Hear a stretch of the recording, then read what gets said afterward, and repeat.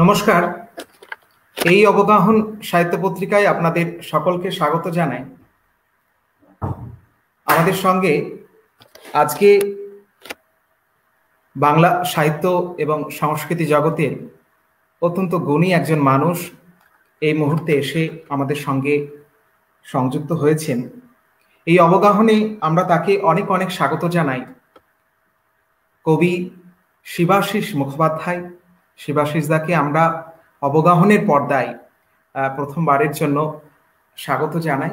আপনারা প্রত্যেকে জানেন যে অবগাহন সাহিত্য পত্রিকা ধারাবাহিকভাবে কাজ করে চলেছে। সাহিত্য সংস্কৃতির সঙ্গে সংযুক্ত বিভিন্ন মানুষজনদের নিয়ে। আমরা আজকে শিবাশিসদার যে আলোচনা, সে আলোচনায় সরাসরি প্রবেশ করব। তার আগে আমি শিবাশিসদার কিছু প্রাথমিক পরিচিতি এখানে দিয়ে রাখতে চাই। সেটা সেটা সেটা আপনারা প্রত্যেকে জানেন যে শিবাশিসদার আলাদা করে পরিচিতি হয়তো দেওয়াটা বাহুল্য। কিন্তু এটা এটা এটা একটা ডেকোরামের মধ্যে পড়ে। তো তো আমি আমি আমি কিছু উল্লেখযোগ্য কাব্যগ্রন্থ শিবাশিসদার রয়েছে, আমরা সেগুলো একটু নাম উল্লেখ করি। বই, স্কুল, অফিস শ্যামা সঙ্গীতে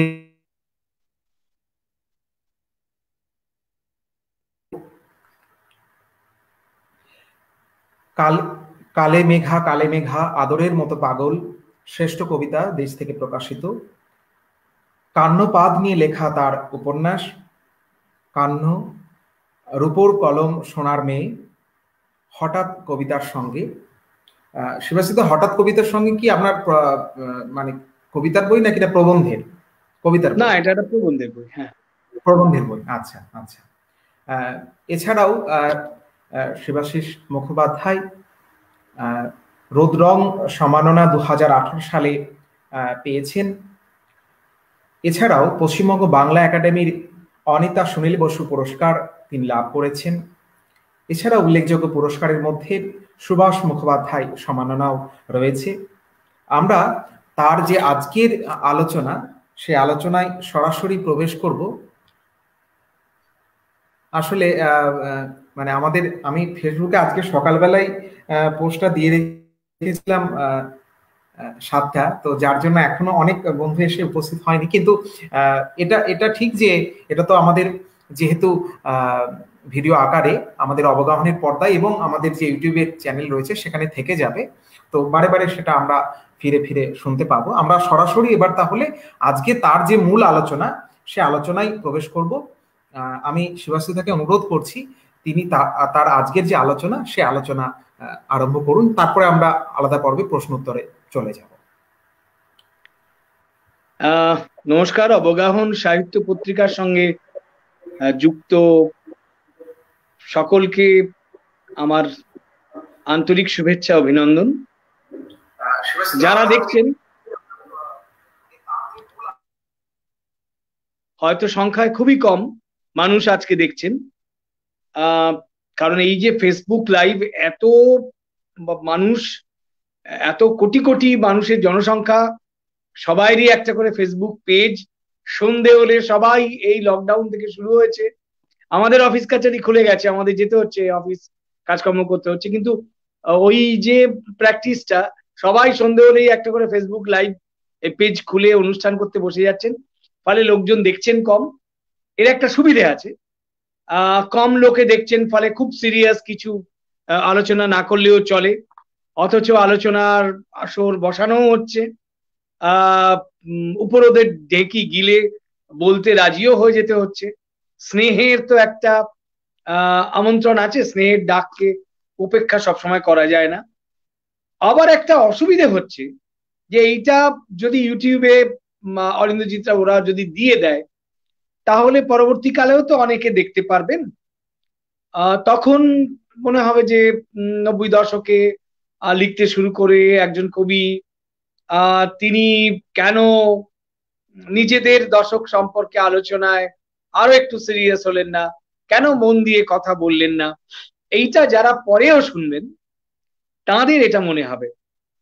ফলে এখন কেউ না দেখলেও এই টেলিফোনের সামনে নিজের একা ঘরে বকবক করে যাওয়া মতো করে বললেও দু একটা কথা বলতে হয় আর কি, বলতে হবে। তাই বলি, সকলকে আমার নমস্কার। নব্বই দশকের একজন বিশিষ্ট কবি পিনাকি ঠাকুর তার একটা কাব্যগ্রন্থের নামই হচ্ছে অঙ্কে যত শূন্য পেলে। তো পিনাকি এইটা লিখেছে বটে, কিন্তু এটা সত্যিও লিখেছে। কারণ অঙ্কে কবিরা একটু বরাবরই কাঁচাই হয়। অঙ্কে বেশি নম্বর কবিরা পেয়ে ওঠে না। কিন্তু এইখানে একটা অঙ্কের খুব মজা আছে। আমাদের এই কথা বলতে গিয়ে প্রথমে আমার একটা দেখা আছে। সেই দেখাটা হচ্ছে, কুড়ি বছর অন্তর অন্তর বাংলা কবিতায় অন্তত আমরা কয়েকটা ধাপে দেখেছি কবিতার ভাষাটা বা কবিতায় যে জোয়ারটা আসে, সেইটা একটা নতুন নবজোয়ার নিয়ে বাংলা কবিতার সৃষ্টি ধর্মিতাকে ভাসিয়ে নিয়ে চলে যায়। পঞ্চাশের দশকে দেখুন দেখা গিয়েছিল সুনীল গঙ্গোপাধ্যায়, শঙ্খ ঘোষ, উৎপল কুমার বসু, শক্তি চট্টোপাধ্যায়, আলোক সরকার এরকম আরও আরও, তারাপদ রায় আরও কবিরা এসে, প্রণব কুমার মুখোপাধ্যায় এরকম আরও কবিরা আছেন। অলোক রঞ্জন দাশগুপ্ত, পঞ্চাশের দশকের সব মহামহিম কবিরা এসে, তারা কৃত্তিবাস, শতভিসা, এই ধরনের, পরে প্রবীন্দ্র দাশগুপ্ত অলিন্দ, এই ধরনের পত্রিকাগুলোকে ঘিরে তারা একেবারে তাদের লেখালেখি দিয়ে একটা আলোড়ন তুলে দিয়েছিলেন।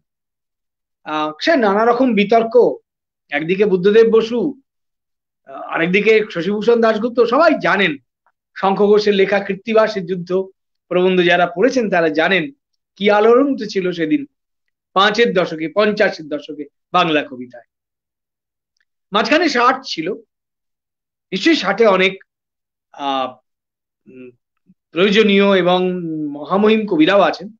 কিন্তু তবুও পঞ্চাশের দশকের কুড়ি বছর পরে সত্তরের দশকে এসে আবার বাংলা কবিতায় একটা ভরা জোয়ার লক্ষ্য করা গেল। বাঙালি পাঠক অবাক হয়ে দেখলেন, জয় গোস্বামী, রণজিৎ দাস, মৃদুল দাসগুপ্ত সুবোধ সরকার থেকে বিতোষক ভট্টাচার্য শ্যামল কান্তি দাস এরকম আরও আরও অনেক গুরুত্বপূর্ণ কবি এই মুহূর্তে সবার নাম আমার মনে পড়ছে না। এই প্রচুর কবিরা এসে, শক্তিশালী, শক্তিমান কবিরা এসে, তাদের নিজের নিজের ভাষা ভঙ্গি দিয়ে বাংলা কবিতাকে একেবারে তোড়ে বাসিয়ে নিয়ে চলে গেলেন সে একটা সৃষ্টির উন্মাদনা বটে। এর অনেক কারণ থাকে, আমি সেই কারণে আসছি না। সমাজ পরিপর্শ রাজনীতি, এই এই সব মিলিয়ে সময় এবং দেশ এবং কাল তার সৃষ্টিকে তো প্রভাবিত করে। দেশ আর কালের দুটো হাতের তালুতে গড়ে ওঠে সৃষ্টি। তো পঞ্চাশের কুড়ি বছর পরে সত্তর দশকের এই উন্মাদনা তারপরে কুড়ি বছর পরে দেখা গেল নব্বই দশকে এসে আবার আর একটা উন্মাদনা দেখা গেল। লিখতে এলেন, একই সঙ্গে লিখতে এলেন পিনাকি ঠাকুর, যশোধরা রায়চৌধুরী, মন্দাক্রান্তা সেন, শ্রীজাত, বিনায়ক বন্দ্যোপাধ্যায়, অংশুমান কর, অভিক বন্দ্যোপাধ্যায়, সুমন্ত মুখোপাধ্যায়, বিভাস রায়চৌধুরী, প্রসূন ভৌমিক, সাম্যব্রত জোয়ারদার সেবন্তী ঘোষ। দেখুন, আমি তোড়ের মাথায় কতগুলো নাম বলে গেলাম। এবং এরা অনেকে প্রতিষ্ঠিত হলেন। ক্রমশ যত সময় গেল, দেখা গেল যে তারা তাদের মধ্যে কেউ কেউ তো বিশিষ্ট হয়ে উঠলেন বাংলা কবিতায়। পাঠ মানে যারা শ্রোতা শুনছেন যারা, বাংলা কবিতার যারা মনস্ক পাঠক এবং এই আলোচনা যারা শুনছেন, তারা একেবারেও ভাববেন না আমি বলতে চাইছি যে এই যে মধ্যবর্তী দশকগুলো, অর্থাৎ ষাটের দশক কিংবা সত্তর এবং নব্বইয়ের মাঝামাঝি, আশির দশক, এই দশকে কিছু লেখালেখি হয়নি। আমি তা বলছি না। আশির দশকের সাংঘাতিক ভালো সব কবিরা আছেন, জয়দেব বসু আছেন, মল্লিকা সেন সেনগুপ্ত আছেন জহর সেন মজুমদার আছেন, নাসের হোসেন কালকেই প্রয়াত হয়েছেন, নাসের হোসেন আছেন, সুতপা সেনগুপ্ত আছেন, এরকম কবিরা আছেন। উল্লেখযোগ্য কবিরা আছেন। কিন্তু নব্বই দশকে এসে এই যে এক তোড়ে প্রায় পঞ্চাশ জন কবির নাম, যারা নিজের নিজের বিশিষ্ট ভাষা ভঙ্গি দিয়ে বাংলা কবিতাকে সমৃদ্ধ করেছেন, একদমে বলে ফেলা যাবে। আমি রানা রায়চৌধুরী আছেন, সুদীপ্ত মাঝি আছেন, সার্থক রায়চৌধুরী আছেন, নব্বই দশকে কত নাম কত নাম বলুন। তারা সবাই মিলে লিখতে এসেছেন। তো এই যে কুড়ি বছর অন্তর অন্তর বাংলা কবিতার ভরা জোয়ার উতলে ওঠে, আছড়ে পড়ে, বানের জলের মতো ঘাটে ঘাটে আঘাত পেয়ে ছিটকে ওঠে। এইরকমই একটা তোড়ের, বন্যা প্লাবনের সাক্ষী থাকতে হয়েছিল আমাকেও নব্বই দশকে কবিতা লিখতে এসে। নব্বই দশকে কবিতা লিখতে এসে একটা ব্যাপার আমাদের খুবই মানে পেরে ফেলেছিল। সেটা হচ্ছে যে কবিতা লিখতে শুরু করার কিছুদিনের মধ্যেই দেখলাম আলাপ হয়ে যাচ্ছে এমন এমন বন্ধুদের সঙ্গে, যারা বাংলার নানা জেলায়, নানা প্রান্তে, নানা প্রত্যন্তে বসে বসে লিখছেন। ছোটখাটো লিটল ম্যাগাজিনকে আশ্রয় করে করে লিখছেন। কলকাতা বইমেলায় না, তাদের সবাইয়ের সঙ্গে সবাইয়ের দেখা হয়ে যেত। ধরুন কলকাতা থেকে প্রসূন ভৌমিক, সাম্যব্রত জোয়ারদার, তাপস কুমার লায়েক, তাদের সঙ্গে আমরা ছিলাম, আমি ছিলাম, পিনাকি ঠাকুর ছিলেন। আমরা সবাই মিলে বের করলাম বিজল্প পত্রিকা। কিছুদিন পরে আমি এবং পিনাকি ঠাকুর আমরা দুজনে মিলে সম্পাদনা করলাম কাহ্ন পত্রিকা। চিরঞ্জীব বসু বের করলেন কবি কথা। ওই দূর বনগায় সীমান্ত পারে বিভাস রায়চৌধুরী বের করলেন কবিতার মুহূর্ত। বাঁকুড়া থেকে বসে অংশুমান কর, রানা রায়চৌধুরীরা বের করলেন নাট মন্দির। শ্রীজাত বিনায়ক বন্দ্যোপাধ্যায়, অংশুমান কর কলকাতা থেকে বসে বের করলেন তাদের মানে অদ্ভুত পত্রিকা, জরুরি অবস্থা। নীল অপরা বের করলেন অভিক আর সুমন্ত দুজনে মিলে। এই যে এতগুলি পত্রিকার নাম একটা না বলে চললাম। কবিতা পাক্ষিক পত্রিকা, সেখানে যশোধরা রায়চৌধুরী একটার পর একটা লেখা লিখলেন, নাসের ছিলেন প্রভাত চৌধুরী সম্পাদনা করতেন। কিন্তু নব্বই দশকের সেখানে আমরাও প্রচুর লিখেছি। এই যে নব্বই দশকের এতগুলি লিটল ম্যাগাজিনকে ঘিরে বাংলার বিভিন্ন জেলা থেকে রাজীব সিংহ তখন মালদায় থাকতেন। মালদা থেকে লিখতেন রাজীব সিংহ। দূর বালুরঘাটে বসে লিখছেন বিশ্বরূপ দে সরকার, সুরজ ওরা লিখছেন। তাদের সঙ্গে আমাদের কলকাতা বইমেলায় আলাপ হয়ে যাচ্ছে।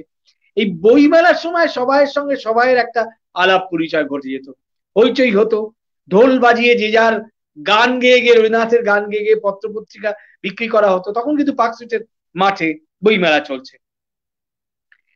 এমনই হই হুল্লোড়ের আসরে আমার সঙ্গে আলাপ হয়ে গেছিল আমার সঙ্গে মন্দাক্রান্তার আমার সঙ্গে যশোধরার আমার সঙ্গে পৌলমীর, পৌলমী সেনগুপ্ত, আমাদের বন্ধু কবি আমরা আজ রুমাল চর তার অসামান্য সেই বই পেন্সিল খুকি, যার প্রথম কাব্যগ্রন্থ পৌলমী সেনগুপ্ত রানা রায় চৌধুরী এরম হয়তো আরও দু একজনের নাম, আমাদের বন্ধু বান্ধবের নাম বাদ চলে যাচ্ছে, কিন্তু কেউ কিছু মনে করবেন না।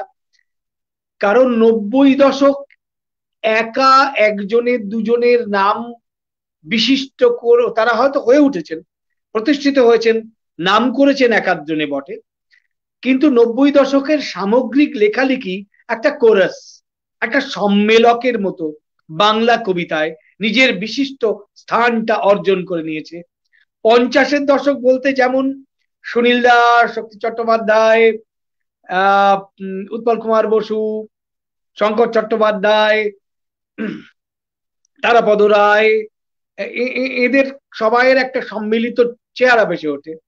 সত্তরের দশক বলতেই যেমন মুক্তির দশকে পরিণত করবার জন্যে আন্দোলনরত যে জনতা, ছাত্র, যুব জনতা, তাদের আলোড়ন এবং তাদের সামগ্রিক যে অভিঘাত, তার সঙ্গে যেমন সত্তর দশকের লেখাকে অনেকে মিলিয়ে পড়তে চান, পড়তে পারেন হয়তো অনেকে। যদিও ব্যক্তি বিশেষে জয় গোস্বামী তার মতন, সুবোধ সরকার তার মতন আহ শ্যামলকান্তি দাস তার নিজের মতন, রণজিৎ দাস তার নিজের মতন বিতোষক ভট্টাচার্যের আলাদা কাব্য ভাষা কাব্য ভঙ্গি তাই হয়। একটা সমগ্রের দিক থাকে আর একটা বিশিষ্টতার দিক থাকে, ব্যক্তির দিক থাকে। এই দুই চিহ্ন ধারণ করে একজন কবি তার বহির জগৎ বাইরের দিকের সময় তার সঙ্গে যুক্ত থাকেন আর তার যে অন্তর্জগৎ, তার যে মনোজগৎ, তার যে নিজস্ব সৃষ্টি জগৎ তার যে নিজের সিগনেচার তার সঙ্গে যুক্ত থাকেন। এই দ্বিবিধ বিশিষ্টতা যেমন পঞ্চাশের দশকে, যেমন সত্তরের দশকে দেখা গেছে, বেশি সংখ্যায়। তেমনই দেখা গেছে বেশি সংখ্যায় নব্বইয়ের দশকে। মাঝখানে দশকগুলি নিশ্চয়ই আছে, বিশিষ্ট কবিরা আছেন, কিন্তু এত বেশি সংখ্যায় নেই। নব্বই দশকে আর একটা খুব মজা আমাদের দেখেছিলাম, এটা সুনীল দাদাও বলতেন খুব, যে সেটা হচ্ছে মেয়েদের লিখতে আসা। এত বেশি সংখ্যায় মেয়েরা লিখতেন তার আগেও মেয়েরা এসছেন নারীবাদী লেখা হয়েছে কবিতা সিংহ থেকে যার শুরু, পরে মল্লিকাদি চিহ্নিত করেছেন সেটাকে কৃষ্ণা বসু, মল্লিকা সেনগুপ্ত তারা তো লিখেছেনই। চৈতালি চট্টোপাধ্যায়, সুতপা সেনগুপ্ত লিখেছেন আটের দশকে, সবই আছেন। কিন্তু নব্বই দশকে লিখতে আসা এত মেয়েদের আমরা দেখতে পাই পত্র পত্রিকার পাতা উল্টে উল্টে, যে অবাক হয়ে যেতে হয়। এটাকে একটা বিশিষ্টতা হিসেবে মেনে নিতেই হয়। না মানার কোনো জায়গা নেই, আজকে আর উপায় নেই। ধরুন এক মুহূর্তে কত নাম তো বললাম, যশোধরা মন্দাক্রান্তা পৌলমী সেনগুপ্ত আহ মৌলি মিশ্র রোশনারা মিশ্র, চন্দ্রানী বন্দ্যোপাধ্যায়, পাপড়ি গঙ্গোপাধ্যায়, সুমনা সেনগুপ্ত, এরকম আরও আরও অনেক নাম, সেবন্তী ঘোষ, এরকম অনেক নাম হয়তো বারবার বলতে গেলে ভয় লাগে যে, কার নামটা, আমি তো কোনো লিখিত বক্তৃতা করছি না, কার নামটা বাদ গেল, কার নামটা রইল এইটা মনে করতে পারছি না। কিন্তু দেখুন, এক তোড়ে এতগুলো নাম বলে গেলাম। এবং প্রত্যেকে বিশিষ্ট। ধরুন, আমি কয়েকজনের মানে কয়েকটা করে কাব্যগ্রন্থের নামও বলে দিতে পারব। চন্দ্রানী বন্দ্যোপাধ্যায়ের ভাষান মঙ্গল, যশোধরা রায়চৌধুরীর আহ পিসাচিনী কাব্য কিংবা পণ্য সংহিতা থেকে শুরু করে মন্দাক্রান্তা সেনের সে বিখ্যাত বই, হৃদয় অবাধ্য মেয়ে কিংবা ছদ্ম পুরাণ দেখুন, পৌলমীর আমরা রুমাল, চোর কিংবা পেন্সিল, খুকি এই ধরনের প্রচুর বিশিষ্ট কাব্যগ্রন্থ নিজেদের উল্লেখযোগ্যতা নিয়ে, নিজেদের সামর্থ্যে নব্বই দশককে আলোড়িত করেছে, নব্বই দশককে আলোকিত করেছে। নব্বই লেখাকি, লেখিকে তুমুল করে তুলেছে, সমৃদ্ধ করে তুলেছে। বলতেই হবে, মেয়েরা বিরাট সংখ্যায় মেয়েরা এসে নব্বই দশকের কবিতায় নিজেদের প্রতিষ্ঠিত করেছে, নিজেদের লেখালেখিকে বাংলা কবিতার আলোচকদের মান্য করতে বাধ্য করেছে। নব্বই দশকে এই কারণেও বিশিষ্টতা অর্জন করেছে বলে আমার মনে হয়। আমি কিন্তু এক্ষেত্রে বারবার বলছি, মেয়েদের কবিতা মানে আমি নারীবাদী কবিতা বা এই জাতীয় কোনো নির্দিষ্ট লেভেল বা তকমায় যাচ্ছি না। যদিও সে কাজও নব্বই দশকের কবিতারা করেছে। আপনারা যারা যশোধরা রায়চৌধুরী, লক্ষ্মীর পাঁচালির নব মূল্যায়ন যে লেখা, পুনর্মূল্যায়ন করে যে লেখা সেটি যারা পড়েছেন তারা জানেন যে সেই দিকেও নব্বই দশকের লিখতে আসা মেয়েরা তাদের বিশিষ্টতার স্বাক্ষর রেখেছেন। তাছাড়াও বলছি, কবিতার যে নানা দিকের নানা বর্ণের বিচ্ছুরণ, তার ব্যক্তিগত প্রেম, প্রণয়, অনুভূতির জগৎ দুঃখ, শোক, যন্ত্রণার জগৎ, তার যে তথাকথিত সামাজিক নানান ঘটনার সঙ্গে তির্যক মধুর সম্পর্কের আলোড়ন, এই সব কিছুই কিন্তু নব্বই দশকে লিখতে আসা মেয়েদের লেখাও ধরা পড়েছে। যেমন নব্বই দশকে লিখতে আসা তরুণ দল তাদের লেখায় ধরা পড়েছে। নব্বই দশকের ও, আরেকজন উল্লেখযোগ্য কবির নাম এখনও পর্যন্ত বলতে আমি ভুলে গেছি, রূপক চক্রবর্তী। রূপক চক্রবর্তী নাম উল্লেখ করতেই হয়।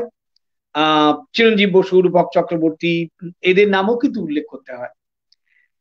নব্বই দশকে লিখতে এসে একটা জিনিস আমরা খেয়াল করেছিলাম, বইমেলায় মাঠে হই হুল্লোড় করে ধুলো মেখে খোল বাজিয়ে রবীন্দ্রনাথের গান গেয়ে এই চটি পত্রিকার হাতে করে তুলে ধরে ধরে বিজল্প কিংবা কান্ন বিক্রি করতে করতে আমাদের যে সক্ষ আমাদের যে সম্পর্ক, আমাদের যে জমায়েত জটলা, এই জটলায় এই জটলাগুলিকে গুরুত্ব দিয়ে ওই তখন তিনি দেশ পত্রিকায় বসতেন, দেশ পত্রিকায় কবিতাও দেখতেন।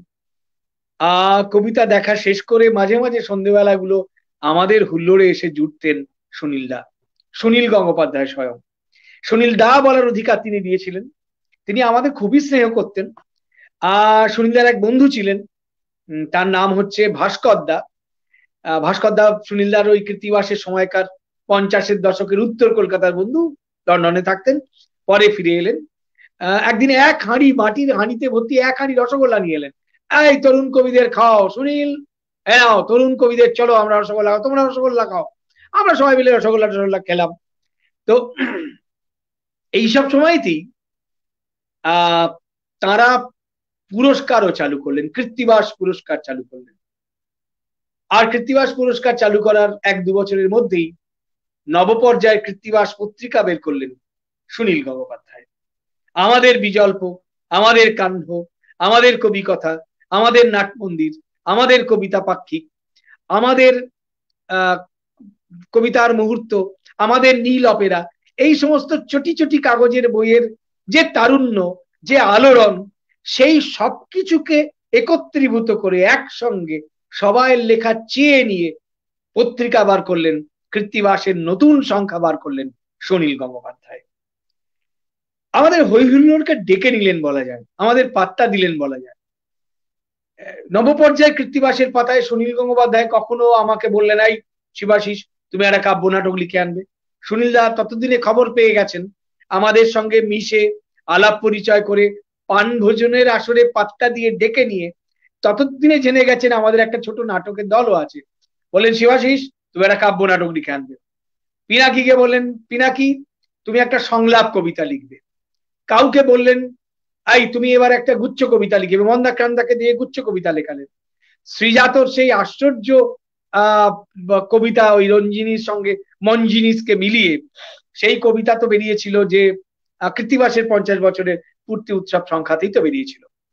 তো সুনীলরা শুধু কৃত্তিবাসের পাতায় আমাদের লেখালেখি যে ডেকে নিয়ে স্থান দিলেন তা নয় কৃত্তিবাস পুরস্কার দিলেন। ধরুন সুনীলদার সময় দেয়া যারা কৃত্তিবাস পুরস্কার পেয়েছে, তাদের নামগুলি যদি তালিকাগুলি কৃত্তিবাস পত্রিকা ছাপা হয়, যদি লক্ষ্য করা যায়, তাহলে দেখা যাবে, প্রথম বছর পেয়েছে বিভাস রায়চৌধুরী, যশোধরা রায়চৌধুরী। দুজনেই আজকে তাদের বাংলা কবিতায় বিশিষ্ট। এইভাবেই শ্রীজাত মন্দাক্রান্তা সেন পিনাকি ঠাকুর বিভাস রায়চৌধুরী, বিনায়ক বন্দ্যোপাধ্যায়, অংশুমান কর, আরও অনেকে দেখবেন আপনারা মানে কৃত্তিবাসের, কৃত্তিবাস পুরস্কার যারা পেয়েছেন, যারা বিশিষ্ট হয়ে উঠেছেন, সৌমনা দাশগুপ্ত উত্তরবঙ্গ থেকে। মানে সুনীলদা একেবারে বাংলার প্রান্ত প্রত্যন্ত থেকে কবিদের খুঁজে এনে এনে কৃত্তিবাস পত্রিকায় ঠাঁই দিয়েছেন, কৃত্তিবাস পুরস্কার দিয়েছেন এবং তাদের মধ্যে প্রায় প্রত্যেকেই বাংলা কবিতায় নিজের নিজের বিশিষ্ট স্থান অর্জন করেছেন। তো নব্বই দশকের কবিতার কথা বলতে গেলে নব্বই দশকের কবিদের সামগ্রিক কবিতা চর্চা হই হুল্লোড়, আড্ডা, পত্রিকা প্রকাশনা, উন্মাদনা, এই রক্তস্রোতের কথা বলতে গেলে সেই নতুন রক্তস্রোত নতুন করে কৃত্তিবাসের নবপর্যায়ের শিরায় উপাশিরায় বইয়ে দিয়েছিলেন সুনীল গঙ্গোপাধ্যায়, সেটা বলতেই হয়। অনেক মজার ঘটনা আছে। আমরা তো বইমেলায় পয়সা দিয়ে স্টল নিতাম না। বিজল্পের প্রসূন ভৌমিক, সে কখনো একটা খবরের কাগজ পাতলো। রোগা বিজল্প তখন চার পাঁচ টাকা, ছ টাকা দাম, কান্ন, রোগা ছ টাকা দাম। ওই ধুলোয় খবরের কাগজ বিছিয়ে সেইগুলো কখনো ছড়িয়ে দেওয়া হলো। সেইখানে আমাদের হইচই আড্ডা শুরু হয়ে গেল। সেই আড্ডায় সাম্যব্রত রয়েছে, প্রসূন রয়েছে, রূপক চক্রবর্তী রয়েছে, তাপস কুমার লায়ক রয়েছে, সন্ধ্যাবেলায় জুটে গেল মন্দাক্রান্তা, কখনো যশোধারা যশোধারা বড় চাকরি করতেন, কখনো যশোধারা এসে দাঁড়িয়ে যাচ্ছেন, বনগা থেকে ছুটে আসছে বিভাস রায়চৌধুরী, আহ, বাঁকুড়া থেকে ছুটে আসছে আমাদের বন্ধুরা, কখনো এসে রানা রায়চৌধুরী, তার অল্প বয়সী ঘুম একটা ছোট্ট কাব্যগ্রন্থ যেটা খুব বিশিষ্ট হয়ে উঠবে পরবর্তীকালে, সেইটা উঁচু করে তুলে ধরে বা আমাদের কারোকে লিখে উপহার দিচ্ছে। আমার বই বেরোচ্ছে, স্কুল অফিস চাপাখানা প্রথম বই বেরোচ্ছে। তো সেই সেই সময় তো আমরা তো পয়সা দিয়ে স্টল নিচ্ছি না। এবার যারা পয়সা দিয়ে স্টল নিচ্ছেন, তাদের তো অসুবিধা হচ্ছে।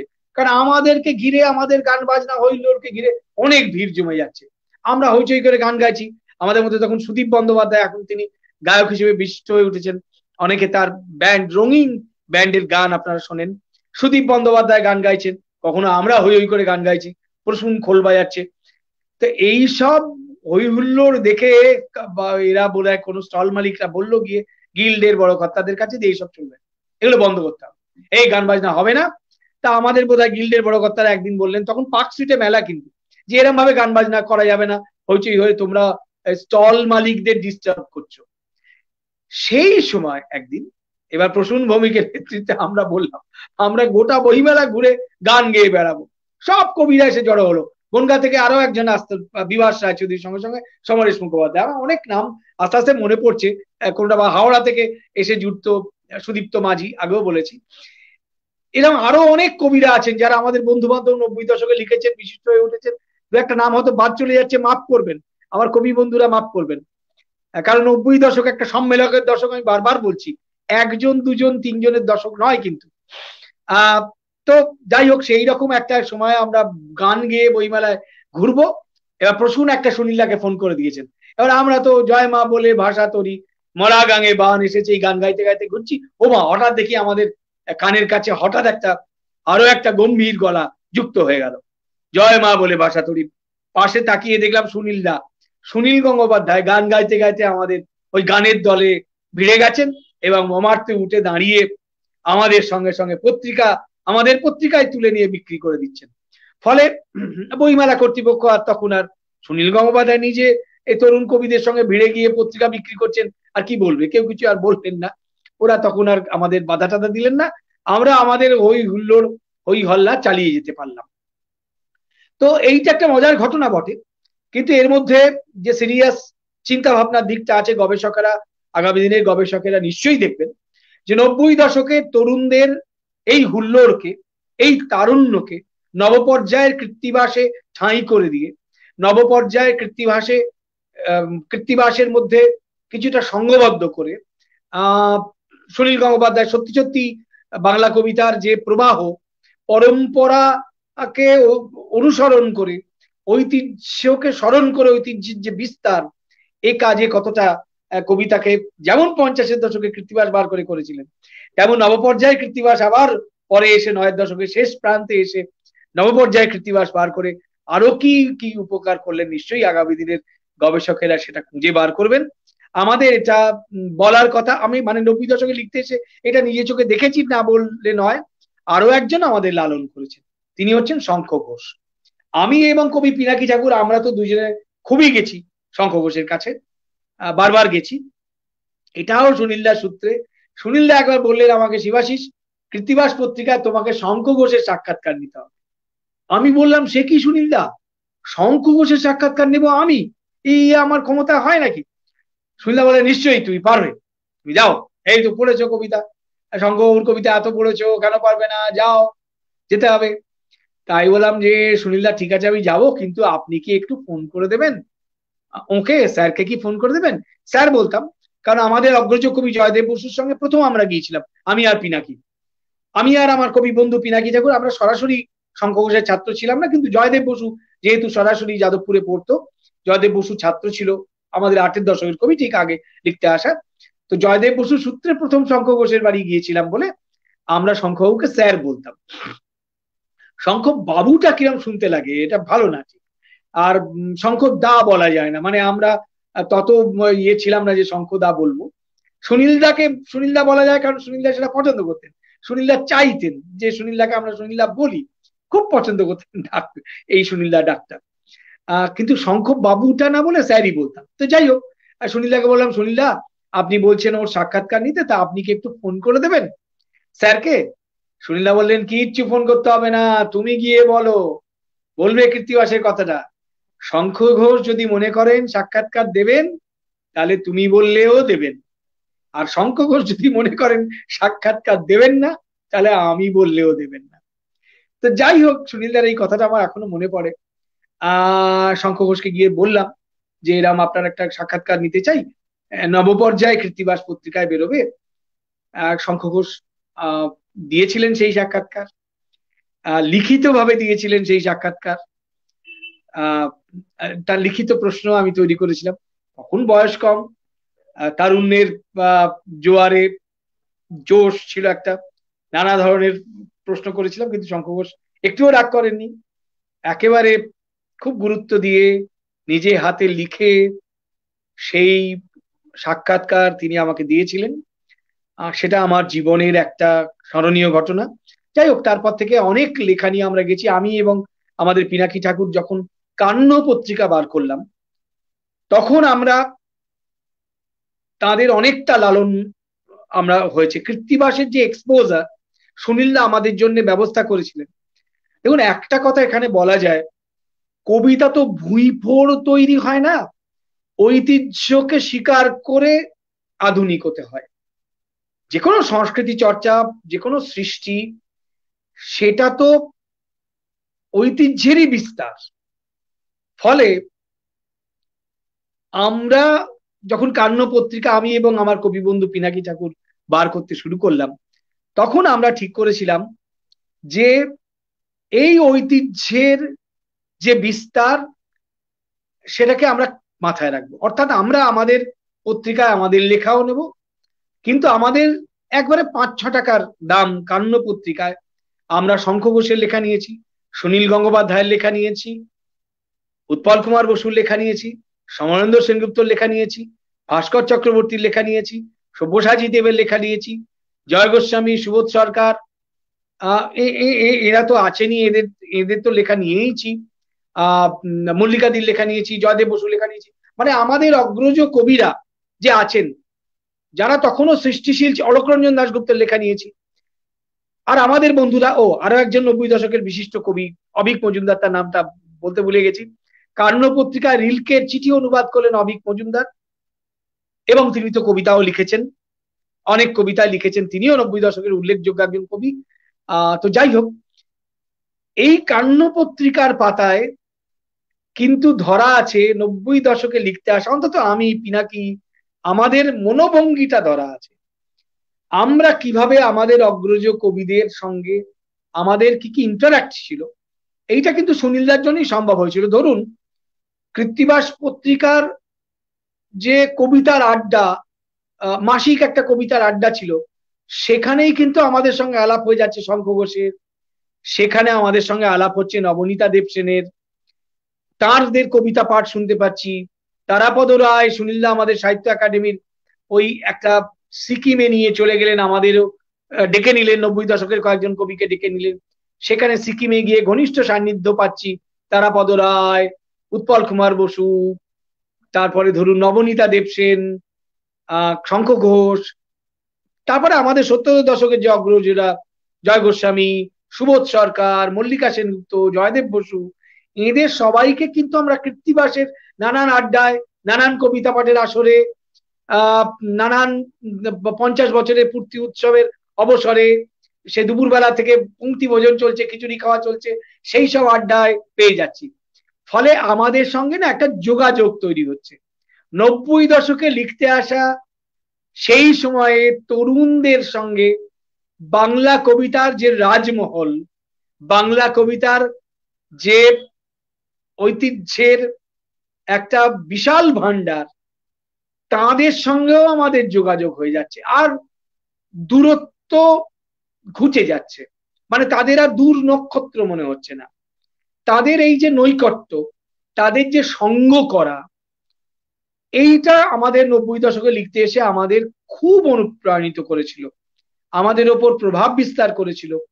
আমাদেরকে বাংলা কবিতার ঐতিহ্য সম্পর্কে শ্রদ্ধাশীল করে তুলেছিল। এবং আমরা জেনেছিলাম যে লিখতে গেলে পড়তে হয়।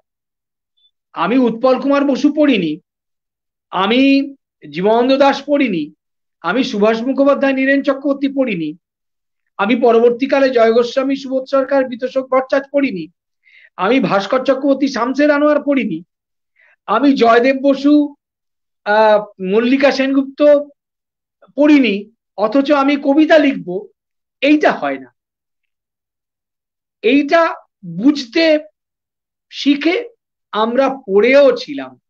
ফলে নব্বই দশকের কবিতার মধ্যে এই ঐতিহ্যের বিস্তার সঠিকভাবে দেখা যায়। আজকাল অনেক গবেষণা চলছে।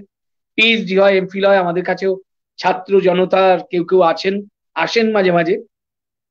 বলেন যে আচ্ছা এটা কি ওনার প্রভাব? তা আমি বলি যে, তোমরা খুঁজে বার করো। এটা তো ভালো লক্ষণ। পরম্পরাকে ধরে সংস্কৃতি চর্চা আসে, আবার তাকে অস্বীকারও করে। অঙ্গীকার এবং অস্বীকার। এই যে দুটি বিন্দু, সৃষ্টির এই দুটি বিন্দু থাকে, এই দুটি বিন্দুর মধ্যে সেটি স্থাপন করে, চলাচল করে যে কোনো সৃষ্টিকর্ম। নব্বই দশকের কবিতায় কিন্তু, অন্তত আমাদের ক্ষেত্রে, আমি আমার বন্ধুদের আট দশ জনের নাম বলে দিতে পারি, যাদের কবিতায় পড়লেই বোঝা যাবে যে এরা পড়ে লিখতে এসেছে, না পড়ে লিখতে আসেনি। এদের সাহিত্য বই পড় নয়, এদের সাহিত্য ঐতিহ্য বিচ্ছিন্ন নয়, এদের সাহিত্য বাইরে থেকে আমদানি করে রোপণ করা বীজের মতো করে বাংলা কবিতায় বেড়ে ওঠেনি। এরা এদের তারুণ্যের অভিমানে নতুনকে খুঁজতে চেয়েছে বটে। কিন্তু এরা এই এদের অস্বীকারের মধ্যে এদের নতুন পথ খোঁজার মধ্যে একটা অঙ্গীকারও আছে। ফলে সুনীল গঙ্গোপাধ্যায় সেই কবিতা, নবীন কিশোর, তোমাকে দিলাম ভুবন ডাঙার মেঘলা আকাশ। এইটা না নব্বই দশকের কবিতের ক্ষেত্রে অনেকটা সফল বলা যায়। আর একটা আমি নব্বই দশকের কবিতায় একটা দিক উল্লেখ করেছি, একটা দিক লক্ষ্য করেছি। যে এই যে ঐতিহ্যের বিস্তারের কথা বলছি, শুধুমাত্র শুধুমাত্র আমাদের ধরুন পঞ্চাশের দশক থেকে মানে দশ, পনেরো, পঞ্চাশ বছরের কবিতার ঐতিহ্য নয়। নব্বই দশকে এমন কিছু কিছু কবি আছেন, যাদের লেখা পড়লে আপনারা বুঝতে পারবেন, উনিশ শতকের বাংলা যেন নতুন করে জেগে উঠছে পিনাকি ঠাকুরের কবিতায়। পিনাকি ঠাকুরের কবিতায় দেখবেন, পিনাকি ঠাকুরের কবিতাই আছে যে উনিশ শতকের বাংলা সেই ভাষায় মেশে থাকা একটি ছেলে চিঠি লিখছে তার স্ত্রীকে। একবারে উনিশ শতকীয় বাংলায়। ধরুন রামমোহন রায় জেগে উঠছেন পিনাকি ঠাকুরের কবিতায়। কোনো একটা ঘটনা বিন্দুকে আশ্রয় করে। এই ফুলিয়ায় শান্তিপুরে দেখা ওই কৃত্তিবাস ওঝার একটা ভিটেতে দেখা একটা ফলক সরাসরি পরীক্ষা প্রবণ পিনাকি ঠাকুরের কবিতায় ঢুকে যাচ্ছে। একটা ফলক হিসেবে ঢুকে যাচ্ছে।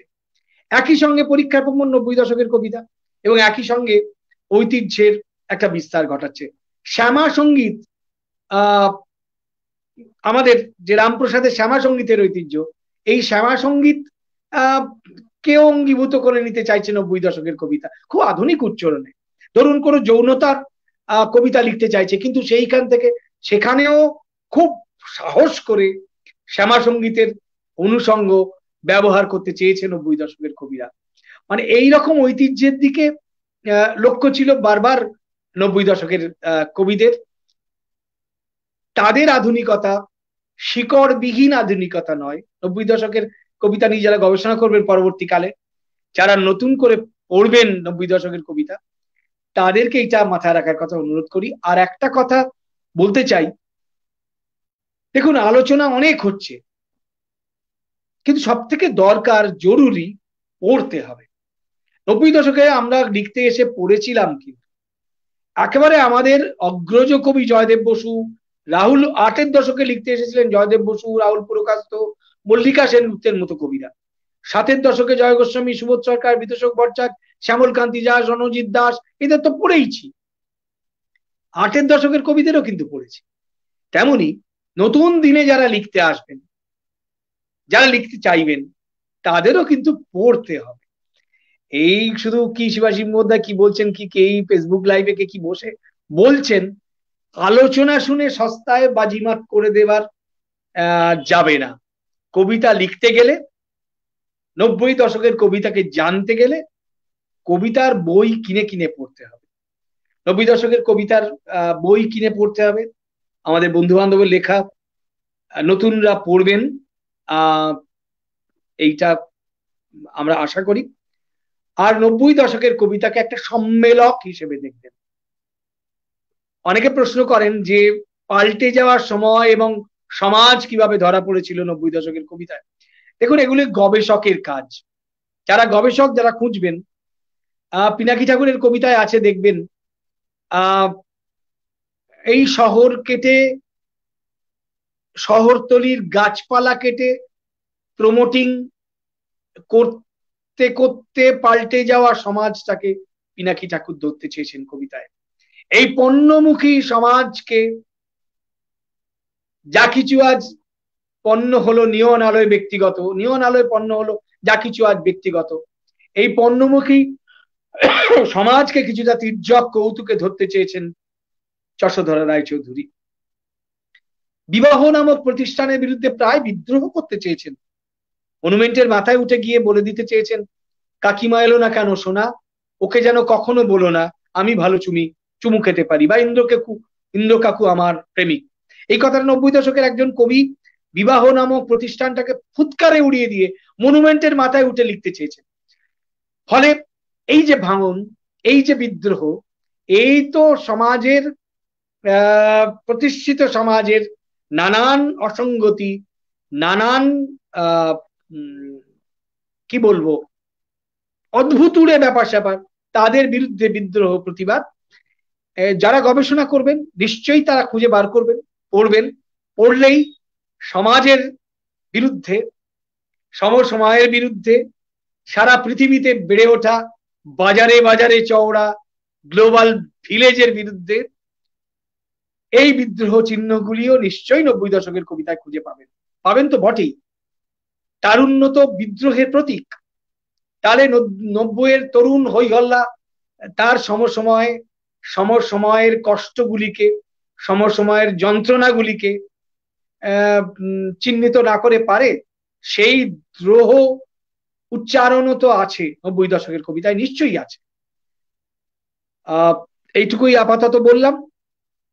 এবারে যদি কারও কোনো প্রশ্ন থাকে করতে পারেন।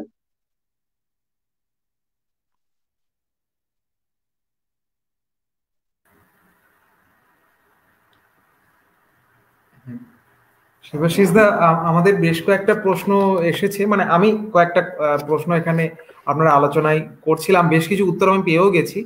আমাদের একজন বন্ধু প্রশ্ন করেছেন একটু আমি প্রশ্নটা স্ক্রিনে নিচ্ছি।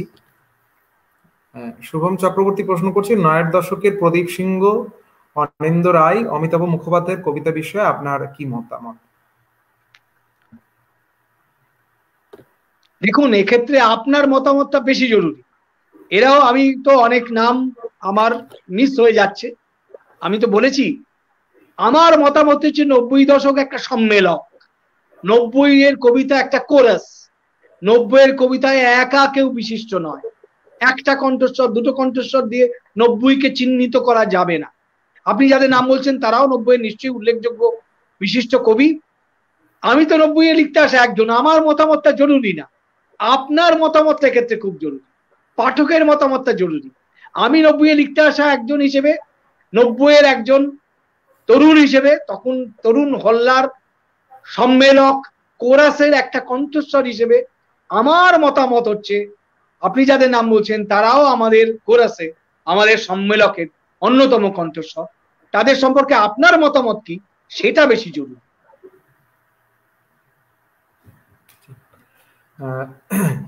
এখানে আমার একটা প্রশ্ন ছিল। সেটা হলো যে, আমরা এই যেহেতু দর্শক নিয়ে একটা প্রশ্ন তো আমাদের মধ্যে থাকে যে, দর্শকের গণ্ডির মধ্যে কোনো কবিকে ধরতে চাওয়া সেটা মানে কতটা ঠিক ব্যাপার। তো মানে সত্তর দশক বা আশির দশক বা এই নিয়ে এই নিয়ে তো শঙ্খ ঘোষের বিখ্যাত বইও আছে। দর্শক বিভাজন উচিত কি উচিত না এই নিয়ে শঙ্খ ঘোষের বিখ্যাত লেখা আছে। অনেক আলোচনা হয়ে গেছে। আমরা তো যেই না নব্বই দশকের কবিতা এই বলে যেই না একটা আলোচনা নির্দিষ্ট করছি তখন তো নিশ্চয়ই আমরা ধরেই নিচ্ছি নব্বই দশক বলে আমরা চিহ্নিত করব বলেই তো শুরু করছি। এই বিতর্ক শেষ হওয়ার নয়, এই বিতর্ক থাকেই। চিহ্নিত করা উচিত কি উচিত নয়, সে বিতর্ক তো আছেই।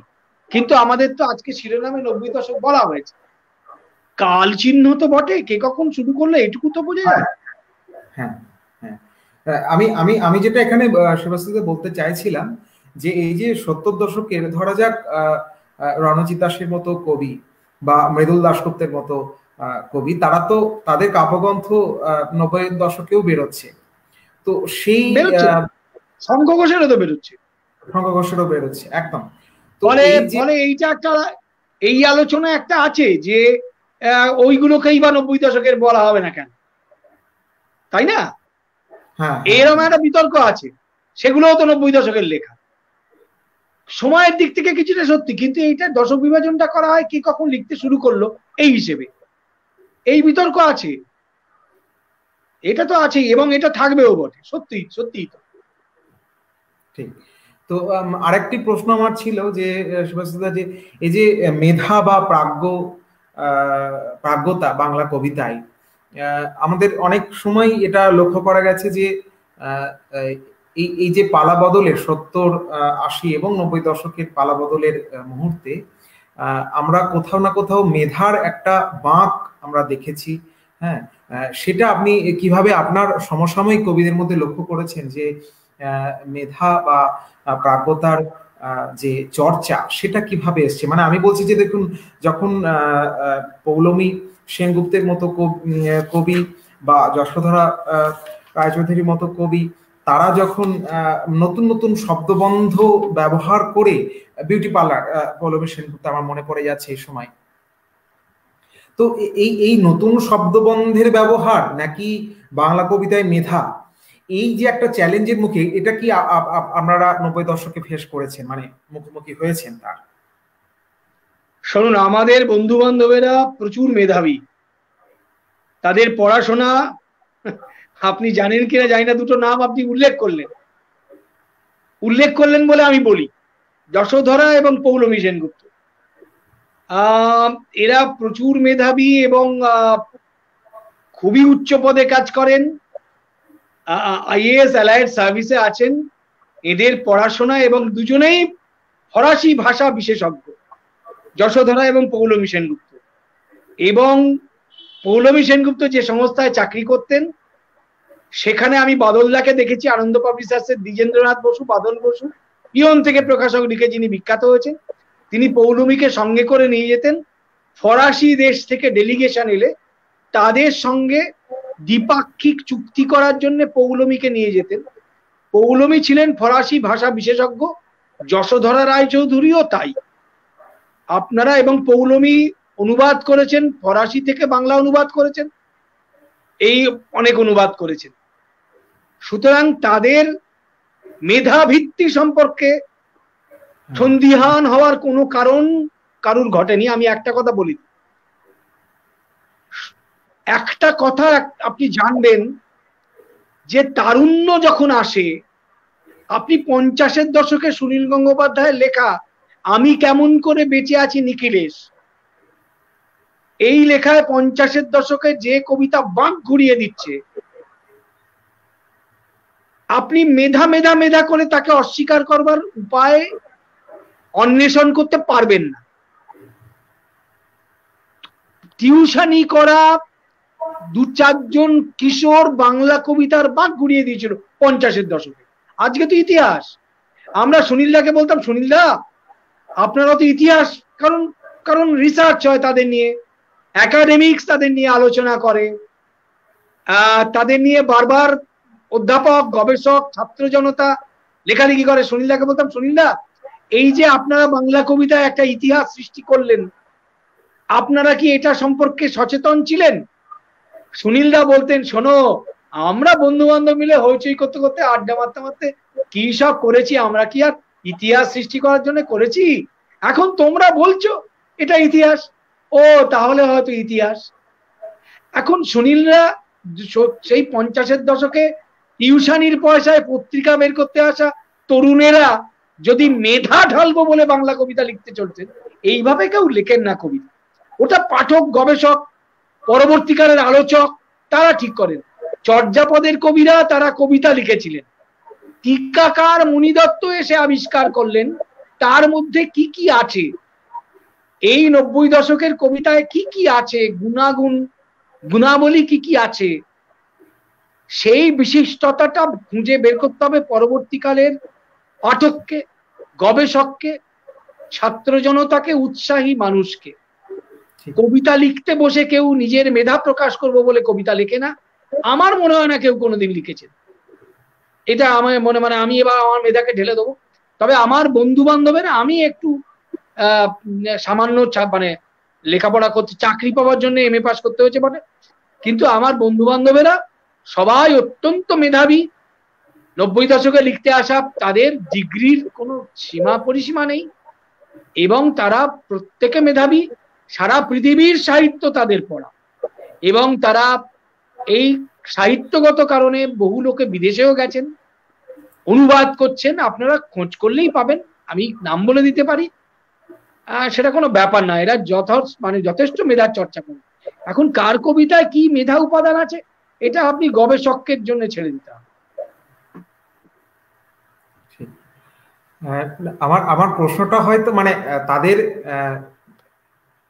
তাদের মেধার জায়গা থেকে হয় ছিল না প্রশ্নটা, আমার প্রশ্নটা ছিল আসলে, যে এই যে পালা বদল মানে আমরা যেভাবে বিষ্ণুদের কবিতা পড়ে এসেছি যেভাবে শঙ্খ ঘোষের অলবরঞ্জন দাশগুপ্তের কবিতা পড়ে এসেছি, তার তাদের কবিতায় যে গুণাগুণ সেই জায়গার যে গুণাগুণটা এখানে যখন সত্তর, আশি এবং নব্বই দশকের কবিদের মধ্যে আপনারা যখন লিখছেন যশোধরাদি আমাদের অধিবেশন করে গেছেন, আমরা জয়দেব বসুর সারা বক্তৃতা করেছি হ্যাঁ তো এ বিষয়ে তো কোনো সন্দেহ নেই যে মানে তাদের পড়াশোনার জায়গা, আপনাদের পড়াশোনার জায়গা এদিকে তো কোনো সন্দেহের অবকাশ নেই। কিন্তু আমি এই যে পরিবর্তনের জায়গা, এখানে আমি, আমার প্রশ্নটা ছিল, তো আমি আমি আমি আপনার উত্তরটা পেয়েছি। আমি আমি আরেকটাই এখানে একটু সিরিয়াস আলোচনা হচ্ছে। তো একটু আড্ডার দিকে আমি ফিরে যাচ্ছি।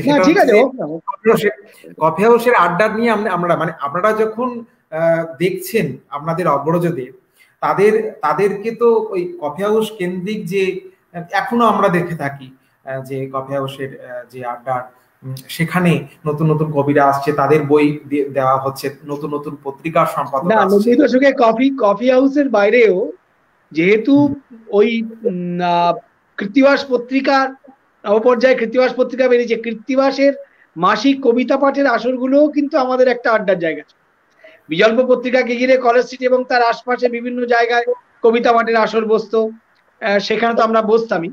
কিন্তু কৃত্তিবাস পত্রিকাকে ঘিরে মাসিক কবিতার যে আড্ডা সেখানেও কিন্তু আমাদের একটা আড্ডা ছিল, আড্ডাখানা ছিল। নানা রকম অনুষ্ঠান করতেন সুনীলদা। এই রবীন্দ্রনাথকে ঘিরে কোনো অনুষ্ঠান, সেই সব জায়গাতেও আড্ডাখানা ছিল। আর আমাদের কফি হাউস তো ছিলই।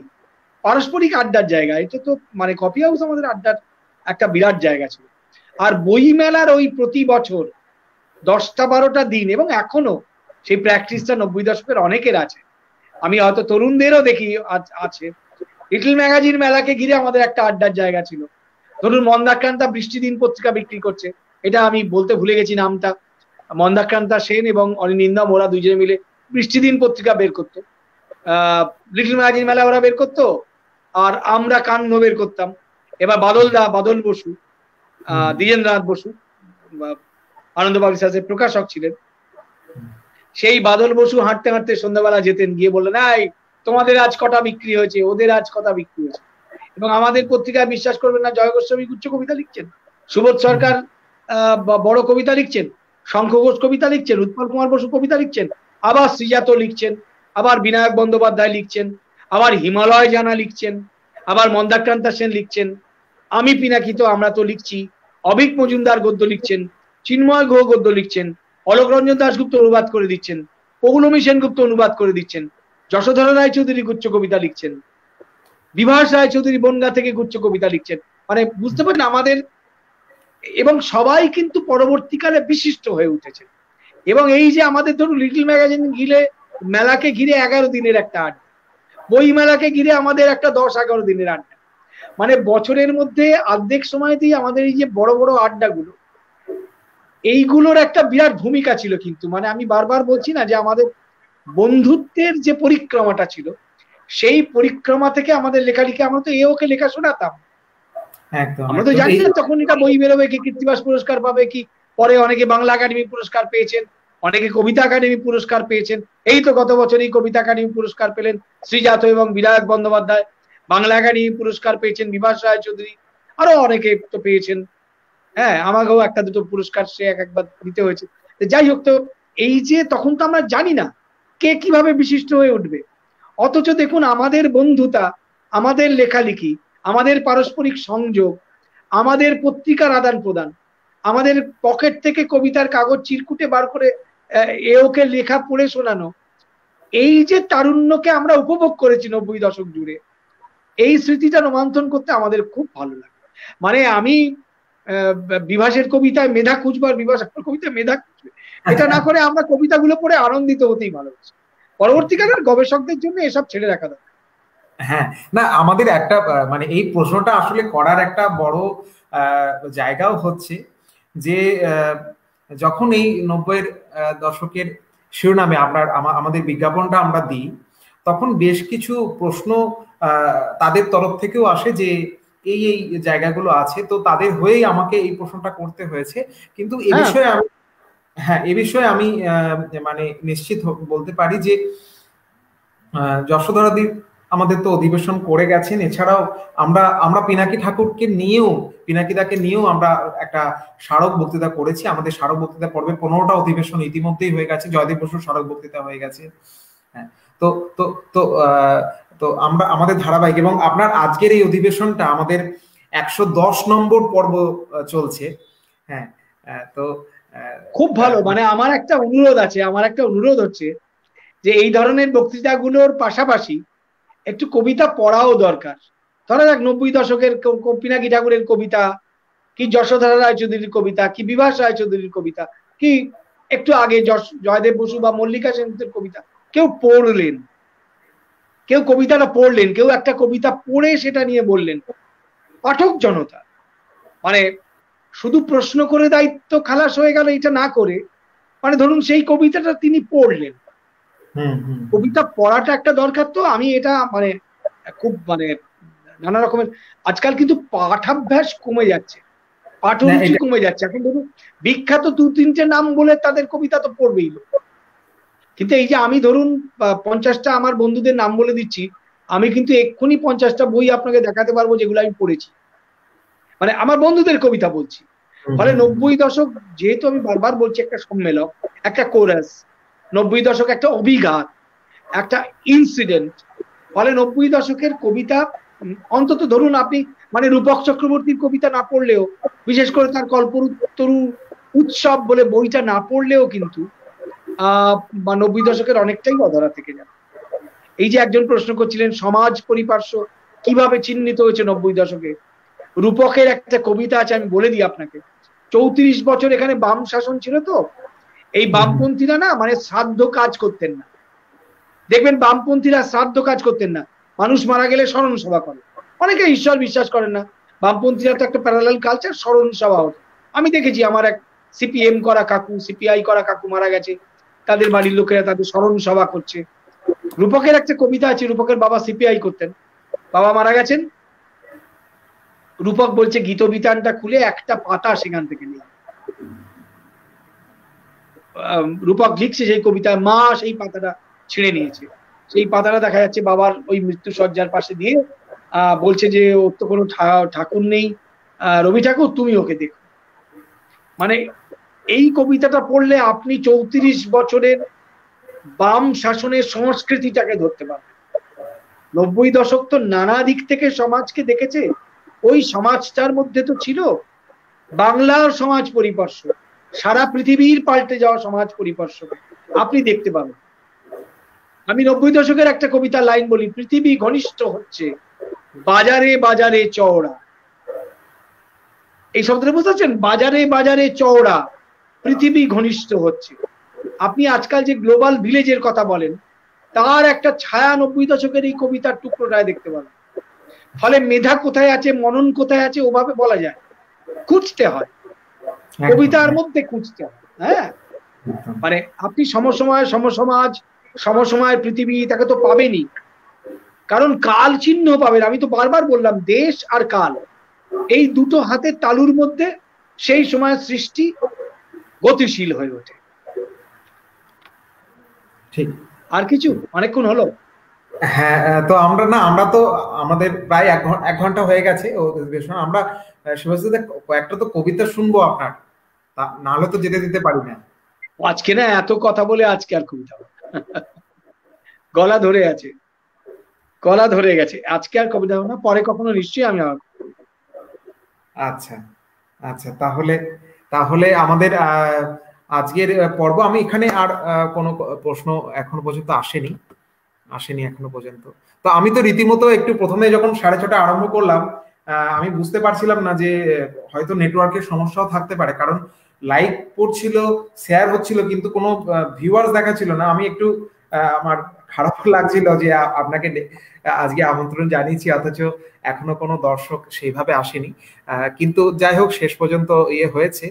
এবং এখন যেহেতু বিভিন্ন জায়গায় হচ্ছে, ফলে এটা একটা অসুবিধার জায়গা। যে ঠিক আছে আসলে এত হচ্ছে না মানে আমি বলি ফেসবুক লাইভগুলো এত হচ্ছে সবাই তো একটা করে পেজ করে করে ফলে সন্ধ্যেবেলাটা কাজকর্ম আছে না। সবাই খালি কবিতার আলোচনা শুনতে বলে তো হবে না। হ্যাঁ, হ্যাঁ আমাদের আমাদের একটা বড় পর্ব আসছে কেউ সিনেমা দেখবে কেউ হোয়াটসঅ্যাপ করবে কেউ মদ্যপান করবে কেউ সন্ধ্যাবেলা টিভি দেখবে কেউ খবর শুনবে ভিন্ন রুচির লোকা। সবাই মানে তোমার আমার মতো কবিতা নিয়ে ইন্টারেস্টেড তো হবে না। হওয়া উচিত নয়। আমরা আমরা কবিতা পাঠেরও দু একটা পর্ব করেছি। চৈতালি দিয়ে একটা পর্বে ছিলেন। হ্যাঁ হ্যাঁ হ্যাঁ। তো কবিতা পাঠও করেছি। মানে বিশেষত যেহেতু আমাদের পত্রিকার ইয়েটা হচ্ছে গবেষণাধর্মী প্রবন্ধের এরা মানে তার ক্ষেত্র রয়েছে। ফলে মূলত আলোচনাটাই এখানে মানে ধারাবাহিকভাবে পরিবেশনের চেষ্টা করি। তো তো এখানে মানে আমি একটা প্রশ্ন একটু করে গেছিলাম। সেটা হলো যে ওই বিষয় আর আঙ্গিক, এটা এটা এটা আপনি যদি ছোট্ট করে একটু বলে দিয়ে আজকের আলোচনা ছোট্ট করে একটু বিষয় আঙ্গিক মানে বিষয় দেখুন, আমি তো বারবার বলছি যে সমাজ নব্বই দশকের সারা পৃথিবীর পাল্টে যাওয়ার সময় আর সমাজ, নব্বই দশকের কবিতার বিষয়। এক, দুই হচ্ছে কবিতার দুটো দিক আছে, একটা বাইরের দিকে মুখ করা, একটা ভিতরের দিকে মুখ করা। দেখবেন আপনি শঙ্খ ঘোষের একটা বই আছে, এটাতে পরিষ্কার আছে, জার্নাল বলে বইতে একটা লেখা, ছোট্ট লেখা আছে। আমি ওখান থেকেই এই শব্দবন্ধটা ধার করে বলছি, বাইরের দিকে মুখ করা আর ভিতর দিকে মুখ করা। নব্বই দশকের কবিতারও দুটো অভিমুখ আছে, প্রত্যেক কবির দুটো অভিমুখ আছে। প্রতি দশকের সব কবির এই দুটি অভিমুখ আছে। কবি তার একটা দিক দিয়ে তিনি সমসময় সম সমাজের সঙ্গে নিজেকে যুক্ত করে থাকেন, যুক্ত হয়ে থাকেন, চান না চান। আর তার একটা মন্তর জগৎ থাকে, তার একটা মনোজগৎ থাকে। তিনি লেখেন, তিনি তো তার মনোজগৎটারও প্রকাশ ঘটান, নিশ্চয়ই ঘটান। ঘটাবেনই তো, তাই তো তিনি লেখেন। ফলে নব্বই দশকের কবিতা সামগ্রিক অর্থে বলছি, আমি এক্ষুনি পঞ্চাশটা উদাহরণ দিতে পারি। কিন্তু এখানে সেটা সম্ভব নয়। কখনো নির্দিষ্ট আলোচনায় সেটা নিশ্চয়ই আমি পঞ্চাশটা উদাহরণ দিতে পারি, অনেকগুলো দিয়েছি ইতিমধ্যেই। আপনি দেখবেন ভারতীয় সমাজ বাংলার সমাজ এবং পাল্টে যাওয়া পৃথিবীর সমাজ ব্যবস্থা। তার একটা স্পষ্ট প্রত্যক্ষ ছাপ আছে নব্বই দশকের কবিতায়। সমসময় আর সমসমাজের ছাপ নব্বই দশকের কবিতায় স্পষ্ট এবং প্রত্যক্ষ ছাপ আছে। পণ্যমুখী পণ্য নির্ভর বাজার ঘনিষ্ঠ হওয়া ক্রমশ বিশ্ব পুঁজির একটা গ্লোবাল ভিলেজ হয়ে ওঠা এই যে পরিবর্তন, অর্থনীতিগতভাবে, সমাজগতভাবে সংস্কৃতিগতভাবে হোমোজাইনাইজেশন অফ কালচার এই সব কিছুরই, সব কিছুর প্রতি তির্যক দৃষ্টি নিক্ষেপ করেছে নব্বই দশকের কবিতা। মজা করে, কখনো সিরিয়াসলি অন্তত প্রচুর উল্লেখ পাবেন তা। আবার নব্বই দশকে লিখতে আসা একজন তরুণ বা তরুণী হিসেবে প্রত্যেক কবির মনোজগৎ যদি বলেন, অন্তর্জগৎ যদি বলেন, তার ভিতর মহলের আলোকিত জায়গাগুলিকেও কিন্তু নব্বইয়ের কবিতা উন্মোচিত করেছেন তাদের উচ্চারণে। আপনি নব্বইয়ের প্রেমের কবিতা পাবেন। মন্দাক্রান্ত সেন, যশোধর রায়চৌধুরী, পিনাকি ঠাকুর শ্রীজাত বিনায়ক বন্দ্যোপাধ্যায়, বিভাস রায়চৌধুরী প্রত্যেকে প্রেমের কবিতা পাবেন। প্রেমের কবিতা লেখেননি নব্বই? নিশ্চয়ই লিখেছেন। আপনি প্রতিবাদের কবিতা পাবেন যেমন, মজার কবিতা যেমন পাবেন, তেমন প্রেমের কবিতাও পাবেন। নব্বইয়ের মনোজগৎ, নব্বইয়ের অন্তর্জগৎকেও প্রকাশ করেছে। এই দুটি বিশিষ্টতাই পাবেন। আমি এইটা বললাম বিষয়গত দিক থেকে। আর আঙ্গিকগত দিক থেকে দেখি। ধরুন একটা কবিতা নব্বই লেখা হচ্ছে ছেলেটি অমাধ্যমিক, কয়লা দেয়, মেয়েটির ইংরেজি অনার্স। হয়তো তারা প্রেমই করে কিমাসেফ সালমান মাধুরী কম বয়সে ওরকম দু একটা ফার্স্ট ক্লাস ব্যালকনি আমাদেরও ঘটেছিল। সুতরাং ডোন্ট ওরি বি হ্যাপি বরং ডায়নামিক অলোকের সঙ্গে মেলামেশা। কোকড়া চুলে নিকি আছে থরি আছে কিডস কিংবা শেলি দেখুন এই যে কবিতাটা বললাম কয়েক লাইন বলে দিলাম। এর মধ্যে দেখবেন ইংরেজি শব্দের ব্যবহার ভাষার পাল্টে যাওয়া ভাষার স্মার্টনেস ডিকশন যদি বলেন ডিকশন এ তো ধরা পড়েছে। ফলে আঙ্গিকগত ভাবে নব্বইয়ের পাল্টে যাওয়া কথ্যকে ধরেছে নব্বই দশকের কবিতা, অনেক বেশি করে ধরেছে। মুজাকার মহাব্বাত দিয়ে জেলে দিয়েছে উনুন, নব্বই দশকের একজন কবির কবিতা থেকে ধার করে আমি এটা বললাম। নব্বই দশক মানে success review of the competition একজন কবিতার একটা কবিতা লাইভ লক্ষ লক্ষ ছেলে মেয়েরা তখন কম্পিটিটিভ এক্সামে বসতো। নব্বই দশকের একজন কবিতা লিখছেন, কবিতা সাকসেস রিভিউ বলে একটা, এই কম্পিটিটিভ সাকসেস রিভিউ বলে একটা বই বেরোতো। ওই কম্পিটিশন সাকসেস রিভিউ বই বেরোতো। তখন সব চাকরিতে পরীক্ষা দিত। রানা রায় চৌধুরী বলে একজন নব্বই দশকের কবির কবিতা আছে। যে কবিতা, কি জীবন মানে হচ্ছে success review of the competition এই লাইন নব্বই দশকের কবিতা লিখছে তো। ফলে আঙ্গিকগত ভাবে ভাষার দিক থেকেও নব্বই দশকের কবিতা নব্বই দশকের পাল্টে যাওয়া কথ্য বাংলার সঙ্গে যোগাযোগ রেখেছে। আর বিষয়গত ভাবে তো আমি বললামই।